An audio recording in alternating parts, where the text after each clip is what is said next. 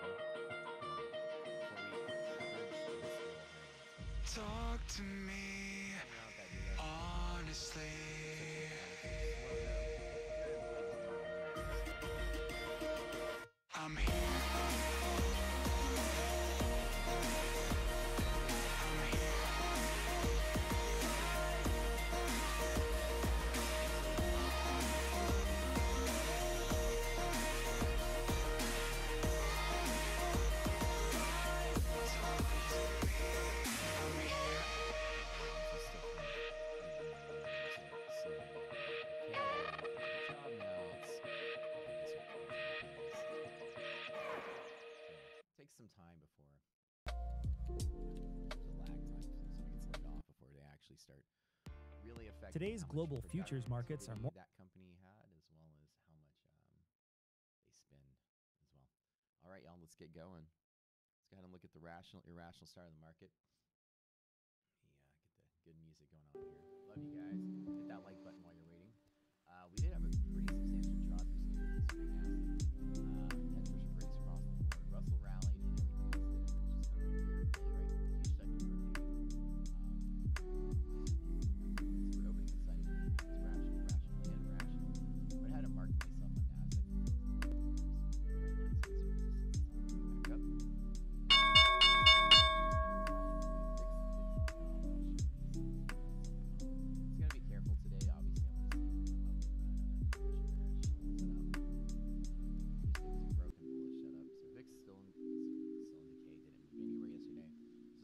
find any reason to bottom out. Around. I'd like to see some lower lows to buy dips on. Uh, of course, we're gonna go straight to Rocket Scooter and take a look at that. Great. Reads in the morning. Everyone, how y'all doing today? Smash that like button, friends. Can't hear you. You can hear me. Wait, can you hear me now? Oh shit, my volume is low. Thanks for letting me know. How did that happen? Oh my god. Well, okay. Jeez Louise. My, my my mic slider was turned on. You know what happens? My damn cats jump up up here and start. Then everything please start over. Rational market. That's it. And then of unemployment stuff. uh, all right. do the analysis. Scaring me now. Damn cats, get up here! I swear to God, I, I locked the door. I feel like I mean I closed the door.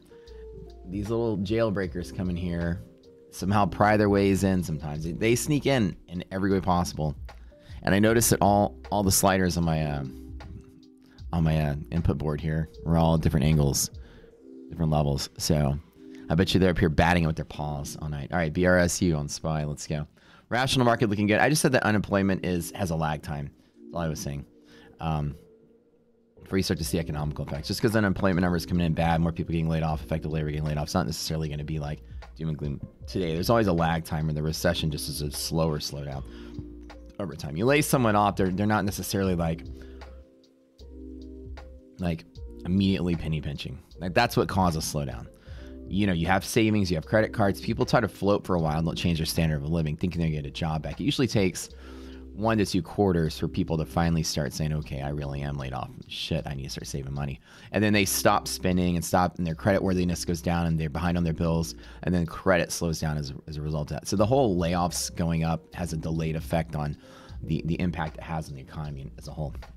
That's all I'm saying. So it's like a beat on the unemployment numbers or a miss on the unemployment numbers. Not necessarily always going to be like a knee jerk reaction, like, oh my gosh, everyone got laid off, markets, markets dying it, it brings inflation down, which is the bigger mechanic motivating Wall Street.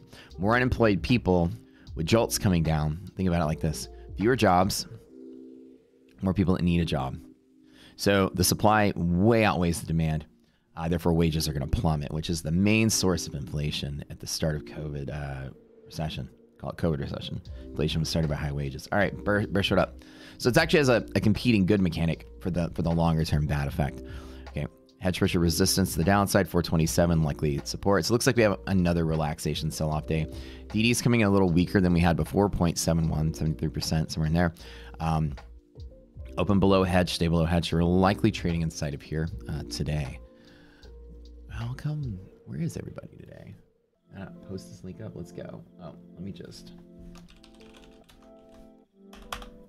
Maybe if I don't post a link, they don't know about it. All right, bear short up, same thing. QQQ is a mean reversion inside of here. I don't bet on hedge pressure breaks. It's likely to hit hedge pressure pullback. Uh, so another relaxing sell-off day today, um, I would say.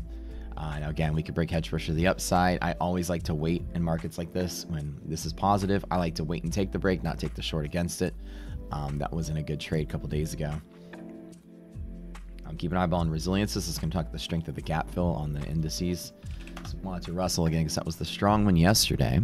I'll pull out some big stocks in a second as well. Your dog figure out how to open his treat cupboard. Oh, yeah, you're fucked. You've lost all control now. Your dog is gonna run the show. Bull long up with the support at 184 and a half. Looks pretty okay. Let's run monthly maps, just generically seeing what's going on. Uh, we'll see if it's another HP break day. We'll have to kind of let's do long-term map. See how much that's actually changing.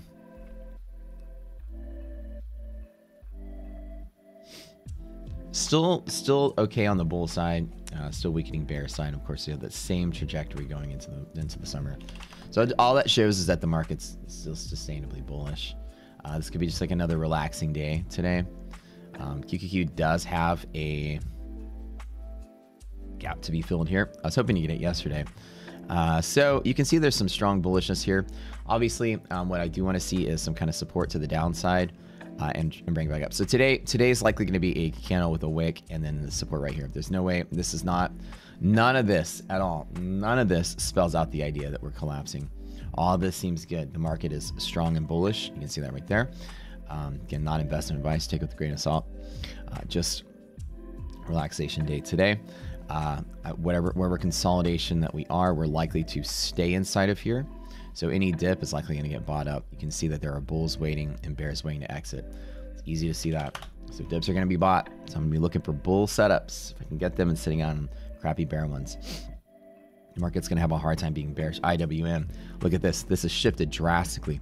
Small caps used to not have a lot of oomph to them. Right now, the Russell is getting all the love through the summer. Uh, and the Russell, the Bears are still trying to short this. It's a little choppy. You can see the bear side is getting weaker and weaker and weaker, and the bull side is getting stronger Uh, weakening in this July Fed week, and then of course strong volatility is coming back down and being liquid again. So very liquid. Um, liquid markets don't crash on themselves. This is the week of the Russell. The Russell's going to be the the uh, stronger effect. Now, doesn't mean today, but Russell's looking hella good. Okay, let's look at Tesla really quick. Myself a monthly map here. Tesla has upside gaps to fill.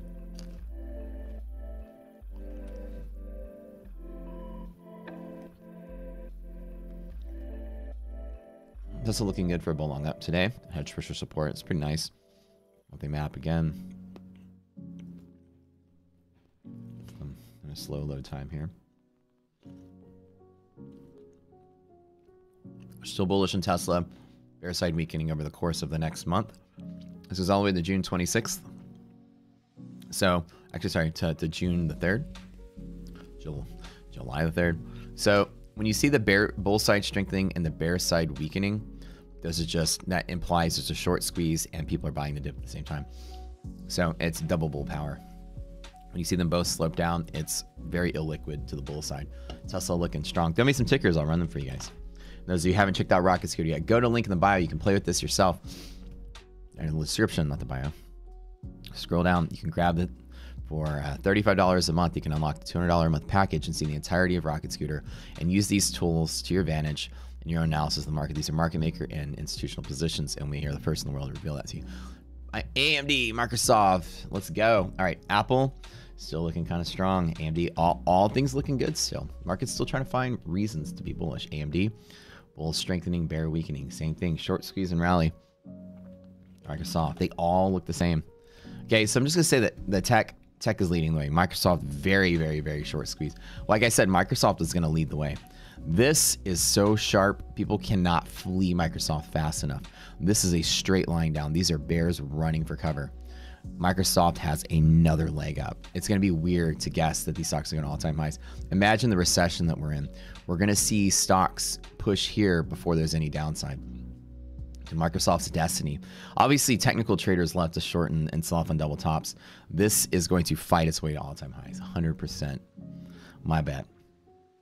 That's just my bet, of course. And What do I know? Not investment advice. Now, again, this is a weird market. Other stocks have done it. Nvidia has done it. Um, Microsoft will be in the same boat. Nvidia still showing another another week of strength, another week of short covering before the market relaxes. So Nvidia is likely to hold the fort. Uh, probably not to break out highs because this is very short-lived, but essentially Nvidia is going to hang here for at least a week, and then right here you're going to have a little bit of profit taking um, and it goes the other way, right? Right about here, profit taking on the longs and shorts are going shorter. So NVIDIA is likely to relax a little bit in about two weeks. Man, I love monthly maps. These things are killer. So liquidity map, monthly map is projecting into the future. This is the longer term sentiment, right? We have monthly options. We should have monthly map. I don't know if that's pulling anything up. This one's weird looking. So this has no real good distribution. This is very gross and very odd, very illiquid as well. Whatever this is. What is VFC? I don't know all the ticker names. Uh, so if you look at this, bear side above bull side, that's very different. This is called illiquidity pocket. So this is going to be very volatile and very violent. Your bulls and bears are both in the money. So it means it's a very illiquid, uh, very violent fight. People are buying the dip and people are, are also shorting at the same time. You can't make any discernible thing other than it's going to be volatile. Big wide days on this thing. Uh, and it doesn't stabilize until here where it becomes slightly more bullish. You, you really can't guess what's going to happen. It's likely to bounce around very rapidly and hold. This is a consolidation pattern. Amazon, Google. I'll do two, two more. Let's get back to the intraday.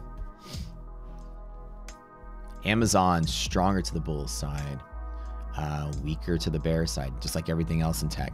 Believe it or not, this monthly map pattern has been prevalent since October of last year.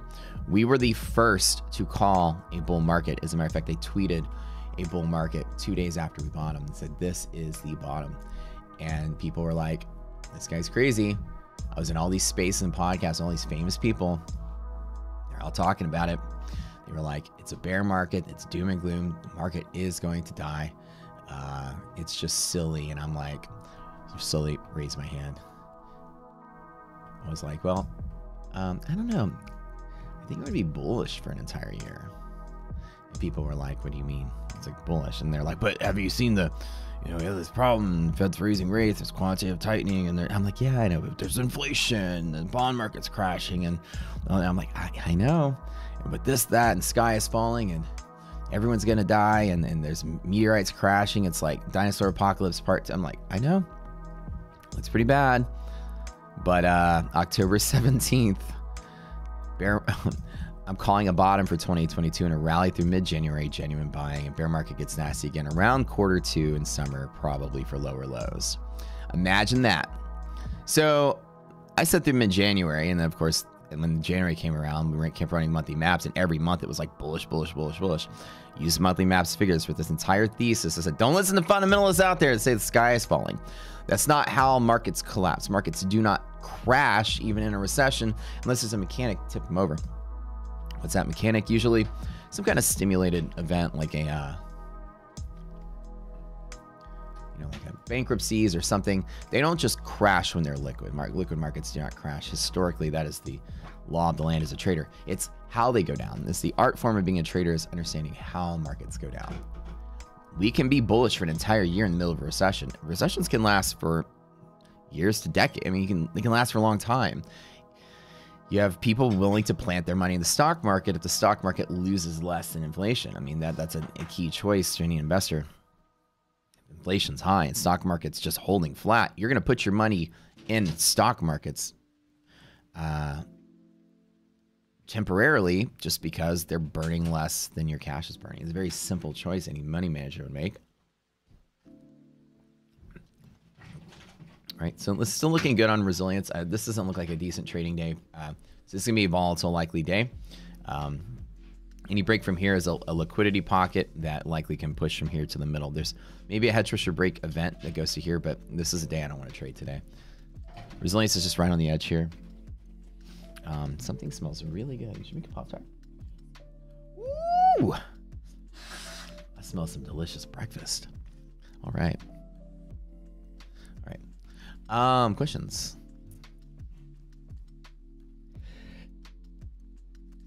Pardon me. Big old sneeze there. You guys smash that like button while you're hanging out. We love y'all. Here's what I said. Um, monthly maps. It's all monthly maps, fundamentals. I talked about the cycling of unemployment, how back in October of last year, I said that the Fed, um, we're going to have a, uh, the Fed is trying to avoid stagflation, that the Fed, Wall Street is looking for the Fed to cut rates uh, to be bullish, blah, blah, blah. And then I basically said, um, I wrote a longer thesis on Reddit, but I said back in October, I said the Fed is going to start trimming rates and, and, and going to zero rate hike and just holding it flat. And people are like, you're, you're stupid. You have no idea what you're talking about. It's like every, every day, every idea know what I'm talking about. I'm a professional trader. Like, I do this for a living. I'm doing this for mm, over a decade. I've seen recessions. I've seen what it looks like, and I'm saying this is what it is. It, it's not just like I know you, like all these kids like first time around it's a recession. and Let's just repeat what we hear on the news. The market see there's waves in a recession, and then right here, October the 17th, I made that tweet. Just let you know that's here. That's here. That's literally right there. Talk about the aim I had on that. Look at this. That was the day before. All right. Green candle and red candle, and that's what it looked like. And I came out and I called the bottom. I pointed the fence like Babe fucking Ruth. Well, that's it. Oh, this guy's crazy. No, this guy know nothing. No, he this. Have you ever been to an economics class? And I'm like, you ever traded a thing in your life? And then ever since then, ever since then, monthly maps. That's it. This one little button right here reveals that. And it still reveals that. And it reveals it's still bullish till the middle of the summer. That's all it says. So the idea is that positions show everything. People are wanting along this. Well, why? Who knows why? They get their own reasons, a million reasons to long something. So the market just does not have any bear. Bears are getting squeezed harder than than uh, anything. Longs are buying the dip. Market makers are holding the bag. The net liquidity is going up, and you have institutional positions uh, betting against the house, and the house is holding the bag. They're long. Net market maker long position. The market's never crashed once in the history of the stock market. And that's the pro trader knows, and that's the fundies don't know because they just read the news on the surface and chase what it is. You know, the Jim Cramers of the world just repeat things where they are. This is where the market's the most bearish We've we found lower lows and had a giant red candle. Then I'm ready building a tweet. All right, guess the bottom. It's done. That's it. And it's gonna it's not gonna get worse until the summer. Ooh. Ooh. Ooh. I'm good. Not really rocket suit is good. I mean, I have to give credit to the technology we have. To be understanding that there are I do understand fundamentals, by the way. But I understand something better. I understand how fundamentals move the market. I don't look at bad news and say market comes down. I mean, this stuff is very slow. Just like I said this morning, you lose your job, you're not. Some people might be like, okay, I got to be very careful. I remember when I got laid off in 2010, I still bought the same amount of groceries, still went to the same amount of bars, still played the same amount of video games when in my 20s. I didn't change a damn thing for many months. And then after a couple months later, once people exhaust their savings, max out their credit cards, can't get a new credit card, can't get, then they go, ooh, I'm probably gonna have to start getting serious now and start saving money and spending less. And then my effect on the economy is a delayed response from the moment you get laid off. And I know that there's mechanics to stuff because I have an engineering degree. I went to engineering school. Not to rail on you economics folks in here, but engineering is the the pursuit of seeing uh, things from all angles, finding the root cause of a problem, and solving a problem by looking at all the data that goes into it. And solving a problem is understanding things like rates and delayed effects and, and the immediate impact of a thing on a thing. It's like a mindset. They train you how to think. Engineering. So my engineers here give me a what up. Y'all know what I'm talking about. You learn how to think and solve problems. I know that just because you saw layoffs go up, there's human beings are different are all different. They're to behave differently, but nine times out of ten, most people are going to believe they're going to get a job before they start feeling problems from the loss of the job they have. Because most people might have some savings and you know their cards aren't maxed out, ability to float a little bit. So it's not like okay, you laid off 100,000 people or 20% layoffs, market's to crash. Matter of fact, when companies lay people off, the immediate response is usually bullish. And like again, you only know that from trading. Why the immediate response is bullish is not because letting people go is good or bad for the company. You let people go for many reasons. A lot of times you can let people go because they're not really producing anything for the investment you have in them. You hired way too many people, and therefore your bottom line just improved. And that's very bullish for quarterly report. As long as it doesn't affect productivity, laying people off would have been a good thing for your company. It's a bad sign that your company is not expanding and needing more jobs in the long haul, but everyone's going to disagree on the effect of that and how long that's going to be in effect and how long it's going to be a problem because not everybody's betting at the same thing for the same reason at the same time doesn't make the market crash. Differing opinions is why markets don't crash on bad news all the time especially when that news has a delayed or long-term effect like logistically or something related to jobs market. So you see bad news today you don't go i'm going to short this market it's collapsing the layoffs are going up. Imagine this 90% of those people are going to live tomorrow and still go get sushi with their girlfriend. They're still going to go to the bar with their friends, just get bottle service. They got bottle service. They're not going to treat their life any differently for a while because we're stupid as humans. We don't think any further than the front of our own shadow most of the time. Instinctual creatures. So I just most people get laid off are going to proceed as normal, spend as normal. The, the immediate economic effect is practically zero. Wall Street will bet on the longer term effect. And since they disagree, they're going to short at different times, different places, sell at different places, sell some stock, not sell another. I mean, it's not a immediate effect. And they, everybody knows short term, you lay off ineffective labor, people that make much. It's always bullish for the company because you can reinvest in yourself and efficiency with the money that you otherwise would have spent on a salary of someone who woke up and watched Netflix four days a week and showed up to a Zoom call for the fifth day, which is where we are. They switch contracts. It's time to switch futures contracts. I haven't switched uh, contracts yet. Are you talking about here? I haven't done anything. Okay. Okay. Bye.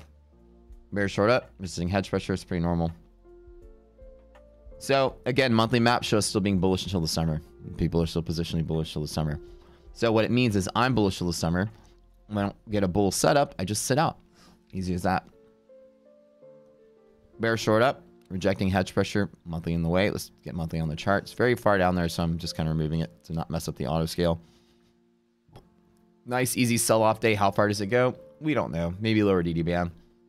But nice to wake up and automatically know I'm not buying any dips today. I'm going to sit out.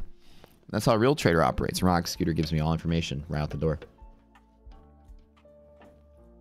It's a very small turnout today. Did, did I post the wrong link? I only have 250 plus people. Where's the other 100 of y'all?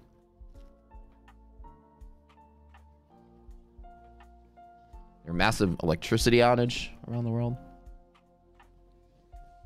Why not sell from RDZ to lower half gap as res? There- There's there's absolutely no risk to reward in here. It's just like an open flat. I think that's what it is, Barb. I think people saw it's a bear day and probably just went back to bed. Which I should do. Freaking Wolf Financial, gotta love God, tweeted last night about Rocket Scooter. I thought I was I thought I was dreaming because I remember last week posting like, "Hey guys, thanks thanks for uh, 4,000 viewers or 4,000 followers." So we just started the company account, got to 4,000, maybe we'll post to 4,000. I thought it was a mistake when I when I when I logged into the Rocket Scooter account to take a look at it, and then I'm like sitting there like, I was like, "Oh, that's kind of cool," and I'm I mean, I was like, I remember we just got 4,000 uh, 4,000 followers. And I was like, oh, that's great. I come in and I look and I was like, yeah, we just got 4,000. I'm like, oh, wow, we have 4,600 now. And I wait, wait, no, wait, that's 5,600. Wait, we get 1,700 followers yesterday. Se- 1,700 followers in one day. What the hell? Because I thought this was 46. I was like, oh my gosh, how we get six? Because my phone was going like ding, ding, ding, ding, ding, ding, ding. Like it's still going right now. Like you said, the counter's going up in real time. It's like ding, ding, ding, ding, ding, ding. I'm like, oh my gosh, we got 600. And I was like, no, wait, that's 1,600. Jeez Louise. Hidden gem for education. This this got uh, over half a million views. What? That just, I love you, Wolf. Thanks, brother. That was really nice. Rocket Scooter helps you find low risk, high reward investment opportunities by share, sharing what the smart money's doing in the markets. Like the end the hedge fund advantage of retail investors. Oh, that was nice. Look, this is amazing list, though. By the way, you guys need to follow a lot. A lot of these people are great. Let me tell you. Let me tell you who's a fucking hidden gem. If you don't know, follow Neely Taminga. This chick is awesome. She's one of my one of my great friends in the trading industry. This girl knows so much. Like the stuff I talk about, I learned from listening to her. Piecing all the economic data together and like understanding how it works. Very, very, very, very, very smart uh, person. Let's see who else is on this list. Selling Rips, awesome on Spaces with us. Um, obviously, Stock Talk Weekly, huge fan of that group. Buddies with all of them. Y'all know TSCR and Bracco and all the all the all the champs over there. TSCR Patrick's one of my longest friends in the, in the industry. He's a great guy. Obviously, Jordan, Ace the Kid. The spaces every day. Thousands of people watch this guy trade. I mean, it's like this is a ton of whole, whole Mars blog. Uh, literally, it's all Tesla talk. They know everything about Tesla. I mean, these are all people I, you know, obviously stock market news. Can't not follow Evan. He's awesome. Uh, I don't know some of these people. I will have to check them out. But I'm gonna tell you that was like completely mind blowing. So, uh, anybody, anybody like tweeting? Anybody want a job? Respond to Twitter followers. I was completely floored. I was very, uh, like I said, that was very nice. Nice to get a shout out. I think that's the most impressions I think I ever got on posts related to Rocks here. Super cool. Very flattered. People are starting to recognize what it is we're doing, which I love. To make uh, to make an impact in retail trading, something we're very passionate about. Love on the playing field. Waking up today and knowing that this isn't a dip to buy, so I'm not being tricked by the machines that run the market, the pricing algorithms that are looking at liquidity and trying to set bid and ask prices, and all these market makers running the show. No, I know in general, using our technology inside. Bear short up. I'm gonna run the liquidity map. I'm gonna find exactly what it says. I'm gonna draw on the I'm gonna draw on the chart exactly what that means. Bear short up. You can see hedge pressures, resistance. Do we all see that? Let's get a big fat yes in chat if you like. If you see what the, if you see this, right? Let me know you're cool. Run a quick education. It means that long support's going to hit resistance at the blue. Any long support's going to hit resistance at the blue. So easy to see that. And of course, you know, support at yellow, that's kind of where we're looking for. I'm just going to mimic what I use when I see. Wherever yellow is, remember, monthly hedge pressure is like way down off the chart. So let's just not even include it in the analysis. So these aren't going to happen today. These are formalities. But essentially, what you see is they're going to use resistance and hedge pressure. So let's just clean up the chart. I'm going to draw that real quick. Okay, and you always draw your resistances like you draw an arrow and then you bump into the next thing and you stop. That's how you do this. So there's one. It's drawing. It's like using crayons. it's Pretty easy. Okay. Next step. We got something called resilience today. Resilience is negative. This is the half gap gap fill predictor. So we open relatively flat, and when res is negative, half gap is resistance to some spot. And again, there is no, there's nothing in the way. It's all bearish territory here. So it like has infinite downside potential. Like it's, it's hard to guess where it goes. Probably monthly hedge pressure was way off, off, the, off the path here. Now, what we do know from Rocket Scooter Course is when you open inside of something called DD Band, it's not automated yet. Um, when we get our futures data in in less than a month, you're gonna have all this automated, but you'll know that you have a DD band in the way. All right, so we're gonna just go ahead and draw that right there. Let's circle back to look at this. DD 0.74, markets are not irrational. The float is going to be something that's going to take place. Remember, yesterday the float failed. Today, the float is very likely to support rational market. Float means on that DD band, it's going to have a hard time breaking it. We don't have any power like over, like, you know, overly selling market due to hedge breaks. Markets are clean. So when we get this DD band, it's going to fight and likely hold and come back up, which looks good. Also, you have that monthly hedge pressure support pushing up. So this is likely a, a day that's likely to trade down. I'm to tell you a couple more things. Um, DD 0.74 means that if we are on this side, let me just kind of like clean this up and make it smaller. Let's talk about what happens in the S&P. So I'm literally drawing up straight line. Like I could see this the moment the market opens. We know, again, uh, resistance from here to there. We know that when resilience is less than zero, it's uh, it's to push from here to the box, which is very small. And if you're outside of the box, the box is likely resistance. Um, and then you can stop it at DD band. Doesn't mean it's going to fall that far. Uh, and then you know you're going to have float. So it's going to likely reject really hard. Float is going to be a very high probability when these things are nice and clean. Okay. Now, the other side of the coin is that this being also bullish, presenting the float, means that any mean reverting trade from the middle is likely to do this and then back to here. Ignoring hedge pressure for the moment, um, we're to kiss the bull side and probably come back to bear. We open bear, close bear. It's one of the rules we have here most of the time. Um, hedge pressure break can send that probability out the water, but um, ignoring hedge pressure here, normally you have a scalp from here to the middle. You likely have a runner from here to there, and it likely returns to where it started. Now let's look at hedge pressure. The probability of a hedge pressure break hits a random pocket anyways, a liquidity pocket, and then from here, um, it's pretty much day over. So when all the rules put together, a couple options pretty easy to see. Okay, any hedge pressure break likely has limitations to the upside. So the long the long area is small, and the risk is very large, right? You have high risk to very low return for the day. So you can see that the market is likely to have more risk and return on the long side. Do I want to short it? Well, not really, because the overall thing we talked about today, market's still generically bullish, and monthly map shows bullishness in the long haul. So in general, this is just going to be a choppy, flat day with likely more downside than upside, and not even more chasing to the long side. And I already made that analysis, and you didn't you didn't see me make that analysis because I look at it, and in one second I can already see all those lines. I look at this when we open, I go, nope, and I'm done. When you get good at this, in a second, you can see all this data. Run the monthly map and say, well, it's still bullish for the long haul, great. And today's likely to trade lower, which is great, which means tomorrow I'll probably get a better long, low entry point, and that's it. So it doesn't mean that it closes bull, Louis. That's not not the rule on that. What it so to typically where you open is where you close. 96% of the time, 96.6% of the time, that's the rule. This is the SPY back test. 96.6% of the time, you open bear, you close bear. If DD disagrees with it, then you tell yourself it's going to make an attempt, but likely fail. Never do I think that it goes here and keeps going. The, the 4% chance is possible on an event, but without an event, breaking from bear side for today, today's a bear day in a bull market. Easy to see that. So breaking from bear side to bull side and staying there, don't ever, I don't ever make the 3% bet without an event to make it happen. There's no event. Calendar's clean today. Does that make sense, Louis? So DD ratio outranks resilience like this. Let me get my pencil. I'm tired drawing with my mouse here.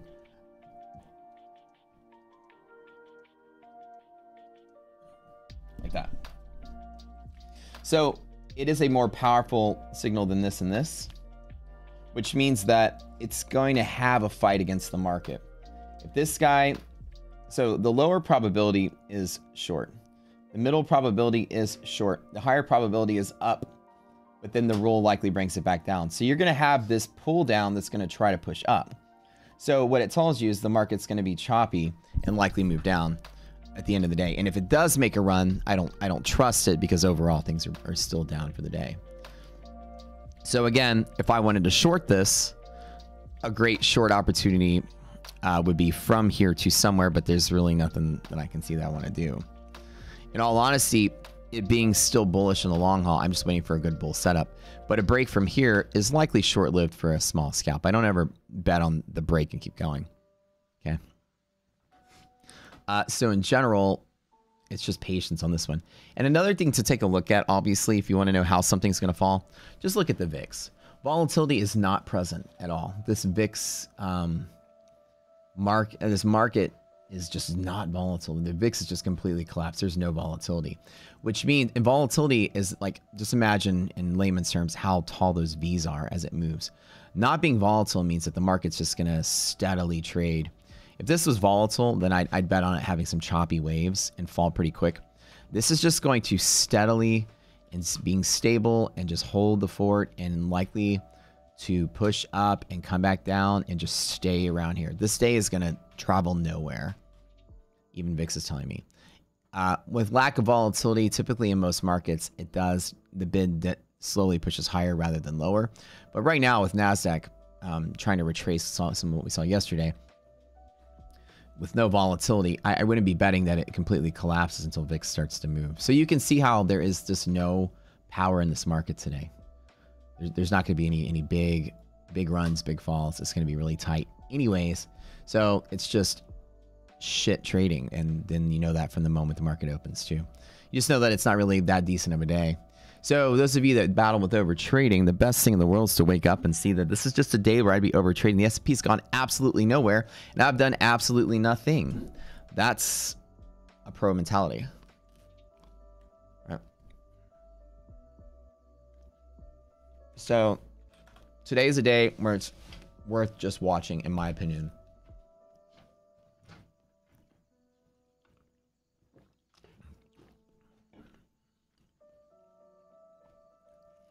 I love it, Louis. No position is a position. You always say like, if you don't trade, what is you know? It's a win. It's a win of zero. It's it's a great win. You won that day. We chose to sit out for a very good reason, and you made zero. Let's say I didn't make anything. You say that as a loser's mentality, you say I made zero dollars and I chose to make zero dollars. It's amazing.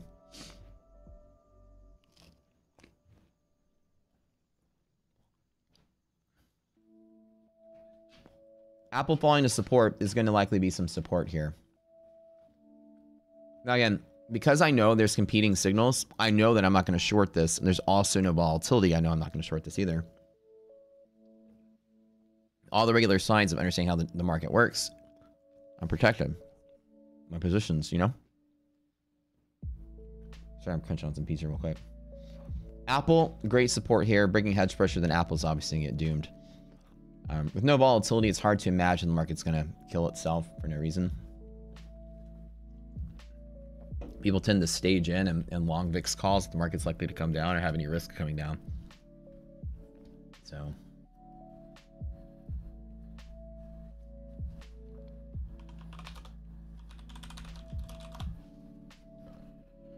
Oh.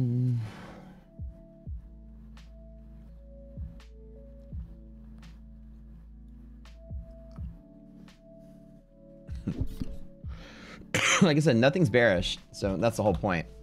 It's just not, it's a bull day, or not, sorry, it's nothing's bearish in the long haul. Nothing's short. When I say bearish, trading down doesn't mean bearish. Bearish to me is is that the market people are entering shorts faster, entering longs. The market's still bullish. It's just not very bullish today. In general, it's gonna there's gonna be attempts to go up. So anything up in here is gonna likely uh, diminish. So again, if we have imagine you have like a hedge pressure break, this is gonna look like this. People are still gonna buy this. It's gonna diminish, and it's likely to stay inside of here. Like I said, this is trade potential number two. Big still being indicated. People looking for every excuse to long the market. Still, monthly map showed us that. So remember, I don't wake up and say, "Ooh, it's a down day. Let me short." It's like I don't know how far it can go, and I know it's likely to float off of there. So I'd love to get this dip to get the best bang for my buck. Uh, not chasing small ups. Instead, I'm going to save my money and try to get a big down. Res is positive. Yes. Right. But resilience again is not going to pivot the market anything relative to anything else other than the redistribution zone. Right. So you guys zoom in on this one. All resilience is telling you is that it's likely to push the top side of the box. And then if it's if it's bullish enough, it's it's going to support on the box here. Resilience doesn't tell me how far something goes. It just tells me it's likely to support off the box if this is if this is positive, which it is. So like now reading it now, in between these two, it's telling me that the market is stuck inside of here as long as res greater than zero. And all it's telling me. And you see that bounce from here to there, and it's still doing that. Easy read. So again, it's not break. It's not breakout day today. All the pieces aren't lining up. This is not very strong today. The market has taken the stance that it's okay with it not moving. And people are relaxing and waiting this one out. It's gonna have to fight all day to do something. So see how that break, the pressure break, just very short lived. It's gonna have a hard time moving higher today, unfortunately. Questions? I know, right? It's pretty cool to wake up and see that, you know, I'm not chasing the short, not chasing the long. I completely am forecasting how this market's moving today. Uh, you have a trader, it's not to, you don't have to like overdo it. You don't have to be, you know, like I said, the fundies out there in love to overdo it. Build such a strong bear thesis, but how markets move is the art of a trader. You're almost like waving your hands like a conductor and the symphony's playing for you. Like it's everything that I'm saying is happen that I said it was going to happen is happening. Maybe not in the right order, maybe not at the same time I want it to, but everything is likely to happen. We're trading down. There's some force going to push us back up. If we break out, it's going to come back down. So I say, well, all right, this is likely the middle. It's likely we're going to end up by the end of the day. Why would I want to make any position long or short from the middle, anyways? And so, like at the end of the day, is that what what what is it? Oh, I, I did. I didn't. Podcast. What which podcast are you listening to today? I love NPR.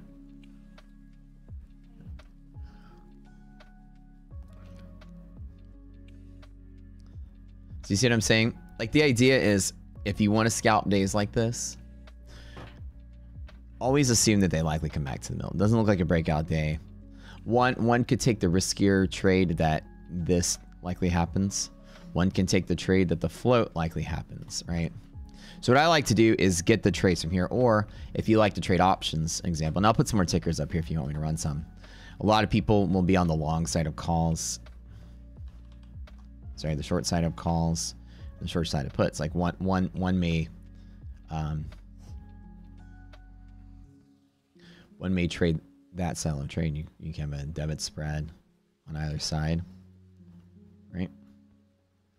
to bet that it doesn't break out there and to bet it doesn't break DD band here. And this is a day when you wake up like this. I'm sure Ashton wakes up and goes, "This is a this is like this is a trading day for Ashton's group to be very heavily involved." When you see days like this and you know it's not breaking that and it's not breaking that, you you can trade that. Like I'm like three thousand percent sure that we are likely inside of a sandwich, right? Speaking of sandwich, I have a sandwich for breakfast. Avocado on this thing. Ooh. Fried egg. Ooh, somebody likes me. Toasted bread. Mmm. Sorry, I'm smacking your face. The idea that you know it's not going anywhere, there are trades you can take. Non-directional trades where you capitalize on um, making theta and making some premium on a credit or a debit. Well, this I, I actually would establish more of a credit spread here than the uh, debit spread side. I could buy more puts to turn this into a credit. But you understand that? When you get really good at trading, every day has a way to trade it. So just directional, just because the sample is not that directional, you can trade it's not directional if you believe that. Some more masterful traders understand how the market's likely to move. Had I sold calls and puts, I've been making money every moment this market hasn't broken those levels. Data. So thinking about how to trade something that's easily seen to be flat uh, is masterful as well, which is what I want to do with my next trading challenge to actually trade options, show how to do that. I'd be legging in to a condor or something. Yeah, Jace nailed it, dude. Like Jace is Jace is a, a madman at this stuff. He gets it. Like selling selling options is great. VIX is low, so you're not going to get like you know the IV part of the premium built in, but you're actually going to not really deal with a lot of volatility in the market to strike those options of money. It's two ways. I know people like a lot of people like to be on the sell side of options when IV is baked in, but lack of volatility, you know, doesn't mean your premium gets artificially inflated. Just repeating what I said. Lack of volatility means the market's likely not to get very wild, and that containment is even stronger.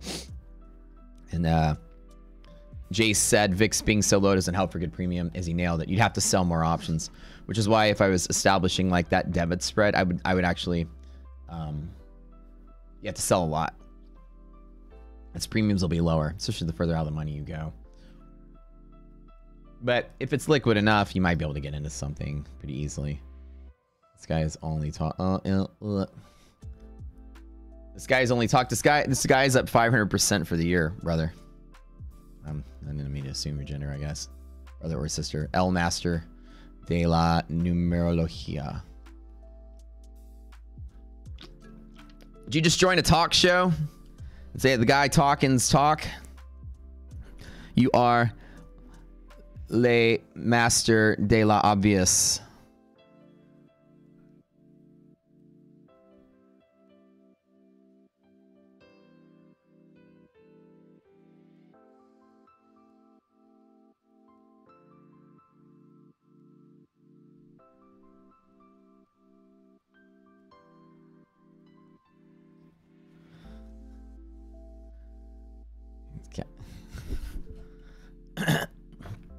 Hmm.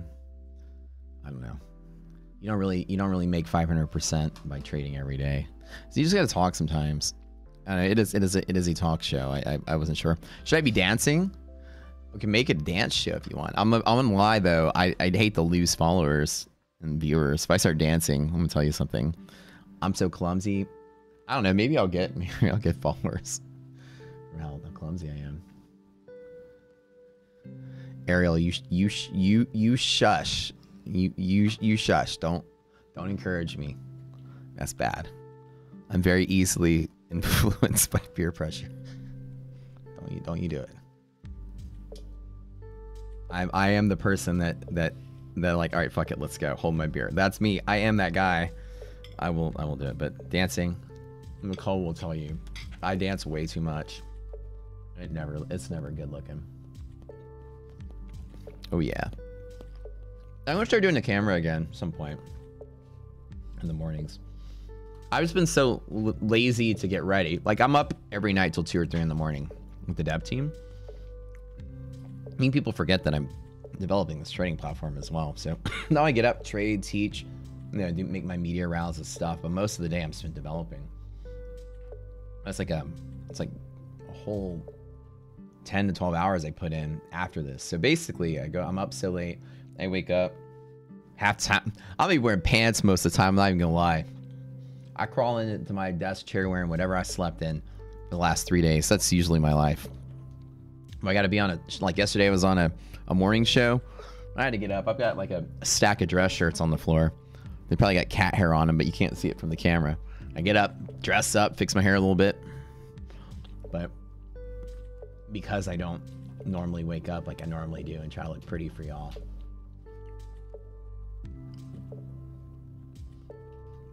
I don't have the camera on for mornings anymore. Ariel gets up at 5 a.m. You go getter. What wait, what week's it? Rap battle? Dude, we should do Rocket Scooter rap battles and have a contest where if you win the rap battle, we send you a t-shirt with the squalid on it. I don't know. We need to get the squalid t-shirts going again. That was a fan favorite back in the day. You leave the platform and comes back after more than a few minutes. It must restart. It's a way to fix it. Uh, you might have a bad connection. It's hard to say. Try to. Always tell people. A lot of times you're disconnecting from the server or something. Uh, if you have internet issues, either A, try a different browser, B, log out, log back in, C, clear all your cookies, uh, see if that helps, or, you know, open up the settings and then load all your defaults. Just get a fresh start. Usually that can clear any issues. In the program since mid-April, still 1 million shy of being a millionaire, but for richer in knowledge, Rockseer is excellent. Hey man, let me tell you, goal as a trader is to find what you're good at in trading. You, know, it's not just to be good at day trading. It's to find like the optimal ways to trade each market. Like I said, every day is a way to trade. We say like with all the variety, why would you trade options? Why would you trade stocks? Why would you trade futures? Right? Nice, beautiful momentum day, markets moving up or down. Futures going heavy, pay less taxes on the gains, get in, get out. You're good. Nice flat. Why would you day trade options? Well, nice flat day. That's a great opportunity to trade non-directional. So options have all the different flexibilities of you can bet on a market being choppy and wide and choppy and narrow, a market being flat and going nowhere, a market not breaking some level or not breaking another level. You get all these additional bets you can make of something not happening with options. You pay more taxes on the on the short-term gain, but you get more flexibility in how you can trade it. So your goal of mastering trading is understanding the variety of how you can trade. So have an options account, I do. Have a futures account, I do. Have stock account, I do. Why trade stocks? I don't ever day trade stocks or swing trade stocks. I always invest spare cash in stock market when applicable for the long haul and just let it hang and you know hedge that if necessary. But beats inflation. You know, small gains per day, just investment account grows over time. But I think everybody tries to incorrectly trade each style of trading. You know, swing tra- day trading options is really difficult to do in the long haul. That's why I love Ashton's approach. And it's very selective. You know, trade when things set up a certain way and not overtrading. That's why I partner with them. We do exactly the same thing. We analyze the market differently. We don't overtrade. We see what is and trade what is. We don't let bias or what we want to happen happen. Like I know SPY you know, I bought the dip yesterday, took a loss, and it's falling. I'm not ready to revenge trade it. Okay, I'm gonna get the long. I was right yesterday. I'm gonna get the dip today. I wake up today, clear as day. I can see this. This is going nowhere. So then, if I were saying, ah, okay, well, let me make a trade. Let me bet that it stays contained. Let me do the iron condor route. As you guys explore and get better at trading, especially Colin, you know, um, reading markets and experiencing how markets flow under different conditions is what you are gaining every day with wisdom. You know, you're not trying to push the button every single time. And I always say my favorite saying is like, don't, you know, if a hungry wolf chases every rabbit in the forest that runs by him, lagged behind the rabbit, the rabbit moves and the wolf is exhausting himself, uh, then he'll be too tired to even walk up to the wounded pig because his friends will beat him to the punch. So, a hungry wolf chasing rabbits will always starve and miss a feast. So, there's a strategy to preserving your capital when markets are flat. If you want to take a smaller trade, there's ways to trade the flat market, gain some premium, and sell some options. Well, those rabbits gonna have rabies. That's right. So learning from like me and learning from Ashton and learning how different people trade different markets is great. Anybody right now who's who's trying to long or short today directionally is to sit there and just be frustrated all day. They're to gain an extra gray hair in their beard. They're going to be frustrated. Their position is going to be slightly green, slightly red, slightly green, slightly red, and then you got 8 hours of your life gone. When what I did was decide I'm gonna spend 1 hour of my life talking to you knuckleheads spend the other seven hours probably cleaning the house and sweeping the garage. There's a lot of dirt in there. I don't know what happened. It gets windy and it blows dirt in the garage. See what I mean? The best part of trading is knowing when to take the day off. You wake up and say, it's a day off day. Cool. Finally get to that building that birdhouse been trying to build or whatever. Whatever you want to do. So tell you when it comes down to the to the wire. What makes me better than most people in trading is my ability to see that the market's going nowhere on multiple days or that it's going to be random right out the door. I can see that. And I avoid it like the plague. The best part about it is we're in a recession. You must trade very carefully, anyways. Getting in and getting out as much as possible is likely. The market can flip direction in an instant and continue its path down once somebody's had enough of the long and ready to take profit. Whatever day they pull the trigger, you, you got to be prepared for. So get in, get out, avoid as much as possible. And really, less is more. Less is always more. Every day is a new day. How today, I haven't mentioned once, I had a huge sell off yesterday. It's probably going to continue. Don't care. Yesterday's over with. I wake up today and see what is. Best part of rocket scooters are not having hysteresis, which is a product of um, is of growing skew or bias in results from historical um, uh, accumulation of an outside influence. An example we always see in chemistry was like you do a little reaction in a beaker, right? There's, that's a beaker.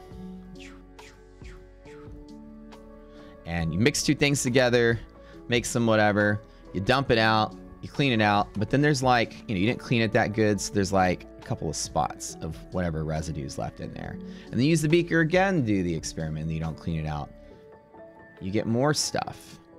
And then even your side products start making other side products, right? So over time, you have additional influences to your reaction that's going to skew your results in a weird way because it's carrying over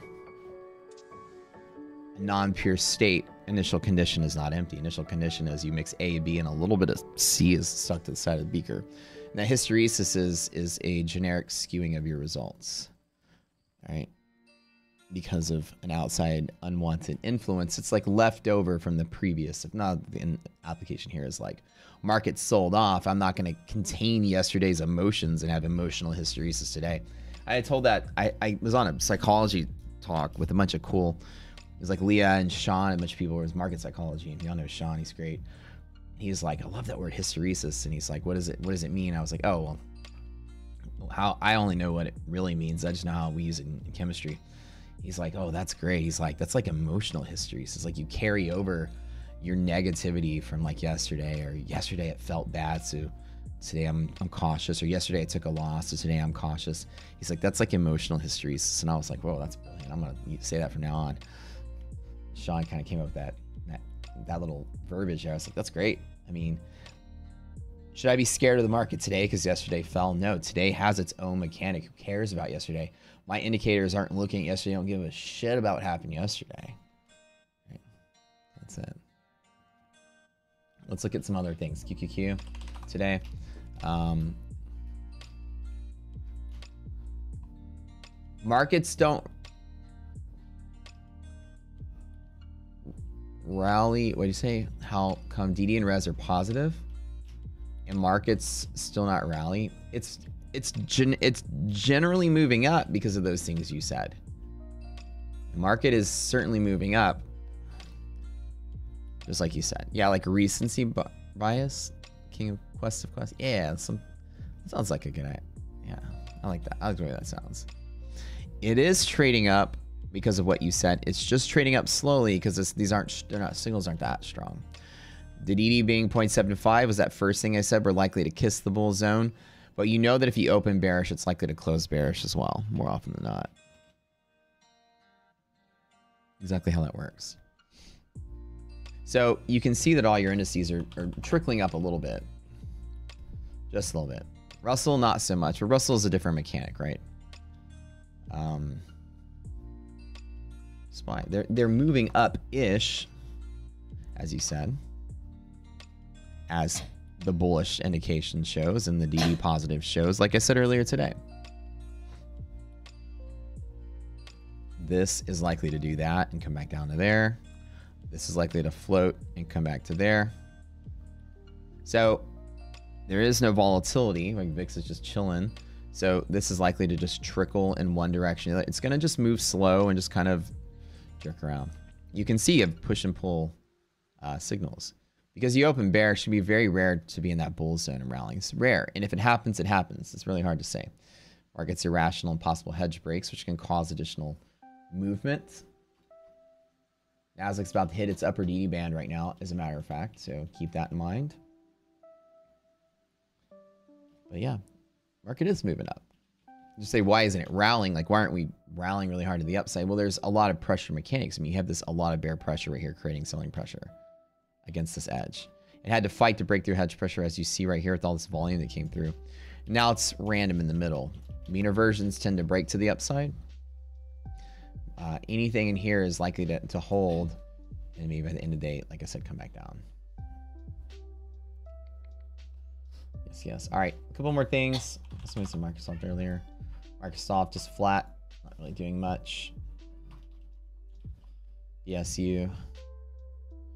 I only trade off of something to something else as long as the R&R looks good. BSU, uh, just gener generically pushing towards hedge pressure is what it's going to likely try to do. But when Nasdaq hits its upper DD band, everything's likely to pull back a little bit. Um, like I said, here's your first resistance today. Uh, red line captured, DD band being touched. This is likely your sell-off point for Nasdaq if it does sell. Again, with no volatility. Wait, let's actually let me. Not a lot of volatility today. Dips are going to get bought up, and it's going to be a slow move. Just a slow move. So it's it's likely not to turn around until VIX shows otherwise. So like I said, that's why I'm not shorting this for big red for big red coming out. So these are these are great containment days. I see dips are getting bought up. You can see that VIX. There's no volatility. There there are volatility and liquidity are inverse, right? Liquidity means the number of bulls and bears together in a room that agree on the price. Higher liquidity means the room is stuffed full of more people, and the people in the room more more or less agree more on what the price of the thing is. So there's two factors in liquidity. If there's two people in a room that agree, bull or bear, is less liquid than 2 million people in a room that agree bull or bear at the same price. At the same price, the more people is liquidity. Um, at varying prices with the same amount of people, the closer the price is, and the disagreement is more liquid as well. Two factors, right? The inverse of liquidity is volatility. So volatility is going down, liquidity is going up. So you say, aha, volatility going down. There are more traders who likely agree on the price. Let's look at both of those factors. So it means that every dip, there's a bull, and every pop, there's a bear. There's a lot more bulls and a lot more bears, so therefore that market's going to be nice and tight. So, ooh, there's a green candle. Let me chase the long. No! There's a red candle. Let me buy the dip and get a better cost basis. Yes! Like, if you wake up and see green candles when markets aren't volatile and you think you're missing out, you're a terrible trader you should say, aha, there's no volatility, which means where we are now is likely the average. We're trading in the mean because no volatility is high liquidity. So I had to trust the market that every dip is, if I want to short, I don't see a red candle. Ooh, this is finally short. Let me jump in. If you want to short, you short off of a green. If you want to long, you long off of red because you know the dips are going to get bought quick. The peaks are going to get sold quick because the market's extremely liquid. There's tons of buyers and sellers. You will get a better entry going against the herd on the candle you see for the position you want. Makes sense? I don't see this breakout green and go, aha, I should long there. I see a couple reds and I'd rather buy on a red. I'd rather buy on a red. If you want to short this, don't see like three green, three red candles. Go, Ooh, I'm going to chase a short if the market was volatile, yeah, I'd be chasing the short or chasing the squeeze. There's a little more volatility that shows that it's going to break this little containment. See, if you were trying to short, you'd be, aha, there's a green. Finally, I can short off of it. If you understand in volatility, chasing the direction you want is always going to be a bad cost basis. You'll sit there upside down. Had I chased this green candle the long, knowing it's not that volatile, I would actually have been upside down for 30 minutes. Like, oh my God. No maneuverability. Can't buy the dip. knowing that it's not volatile, I could wait and go, aha, there's some red. Let me let me long here. Okay, good. Okay, it fell. Okay, it fell. Let me long there. If you're trying to short, you're like, oh wait, let me let it hit something that's green and then short it. Markets are volatile. You can trust it to revert back to where it was because that's what liquidity is. There's buyers and sellers on both sides. You're not going to see the market do that or do that that easily. You're going to see that there's going to be directional uh, buying and selling, um, or non-directional buying and selling, both sides, containment. So bulls should be looking for dips to buy, bears should be looking for a pop short, usually in almost all markets. If you're chasing candles, you're gonna have a bad time as a trader. It's always just kind of a normal thing. All right, I'm gonna call it a day. No trades for me today. Nice, clean, just retracement. I don't really care to watch. I'm gonna let it do its thing and then come back. Uh, get back tomorrow and, and uh, give it a good analysis. Head over to the Discord. We'll maybe do a lesson a little bit later, but I'm gonna call it a day. Got a ton of stuff to do. Things to report. Really cool. Really cool. We are so close uh, to getting our futures stuff uh, ready to go. We're gonna have a connectivity to Discord, a connectivity to futures brokers right here. You'll be able to click a button, thing called connections. Connections will open up and say connect your Discord. Connect your Discord to Rocket Scooter. Pretty soon, you'll be able to talk to your platform through Discord. You'll be able to get hedge pressure DM to you from the platform in your Discord. All kind of fun stuff. But auto assign roles. You upgrade your package, it would it'll give you access to the new things, etc., etc. You'll say something connection. We're about to connect. We're gonna we're partnering with a broker. You'll be able to set up your um, brokerage account through over 80 FCMs. And then you'll be able to open up your DOM and trade futures inside a Rocket Scooter. You get futures data coming in the back. That's all coming down the pipeline. Day to day to day, we're working on that. Boom, boom, boom. Love you guys. We'll see y'all tomorrow.